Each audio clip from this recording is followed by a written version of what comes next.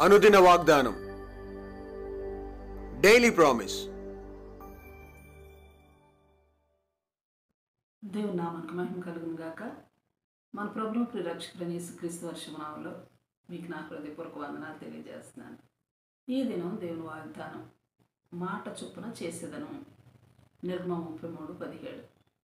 కాగా యెహోవా నీవు చెప్పిన మాట చొప్పున చేసేదను. నీ మీద నాకు కటాక్షము కలిగినది అని మోషతో చెప్తున్నాడు. ప్రేస్లా ఈ మాట ఇంగ్లీష్లో King James వర్షన్లో I will do this thing also అన్న మాటను మనం చూస్తాం. అంటే దేవుడు చెప్తున్నాడు నీవు చెప్పిన మాట చొప్పున చేస్తాను. అలాగే నువ్వు చెప్పావు కాబట్టి ఇది కూడా చేస్తాను అంటున్నాడు. ప్రేస్లా ఎంత గొప్ప మాట ఇది. గత దినాల్లో మోష జీవితంలో దేవుడు అనేక కార్యాలు చేశాడు. అయితే పది అద్భుతమైన సూచక్రియలు చేసి మూషే ద్వారా చేయించి ఫరో బానిసత్వం నుండి విడిపించి ఐగుప్తు నుండి బయటకు తీసుకొచ్చాడు.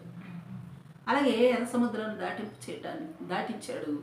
తన ప్రజల పక్షంగా మరి యుద్ధం చేసి తానే యుద్ధం చేసి ఐగుప్తు ప్రజలపై విజయాన్ని ఇచ్చాడు.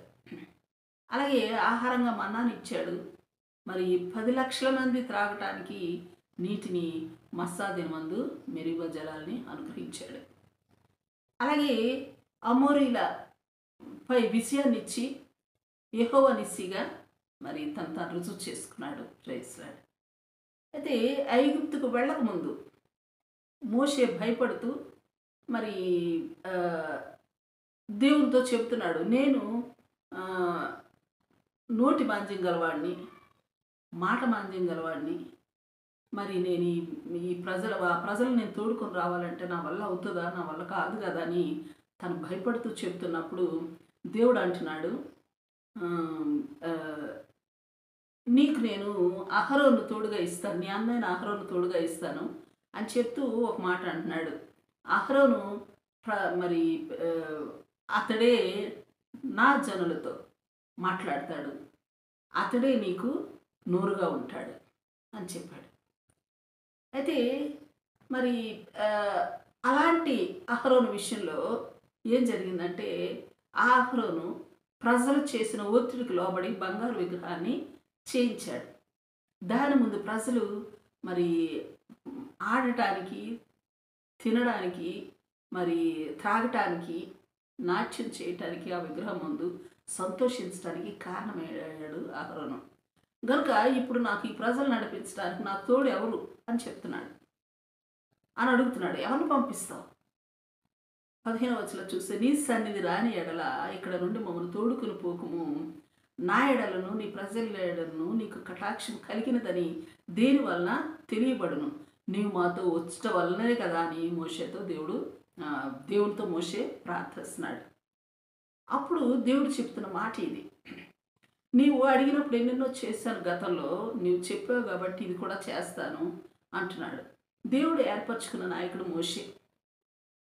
తన ప్రజలుగా ప్రా తన ప్రజల పక్షంగా తను ప్రార్థించినప్పుడు ప్రార్థనకు మరి నువ్వు చెప్పిన మాట చెప్పున ఇది కూడా చేస్తాను అని చెప్పాడు. ప్రేస్లర్ దేవుడు నీ నా ప్రార్థనలు ఆలకించే దేవుడు. అంతేకాదు మరి ముఖ్యంగా మరి తన ప్రజల పక్షంగా మనం ప్రార్థించినట్లయితే మన ప్రతి ప్రార్థన ఆలకించి అంగీకరించి నెరవేర్చి దేవుడై ఉన్నాడు. ప్రేయస్లా ప్రార్థన చేసుకుందాం.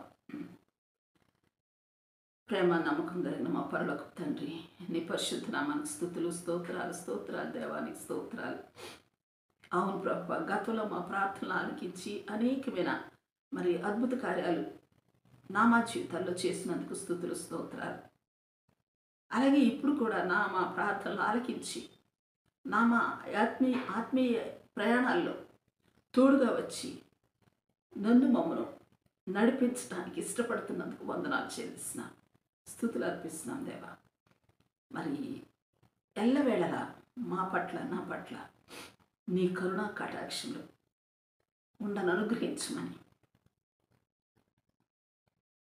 మీ దయ మా మా మీద పాలింపచేయమని ఏసునామలో అడిగి వేడుకొంచున్నాం తండ్రి.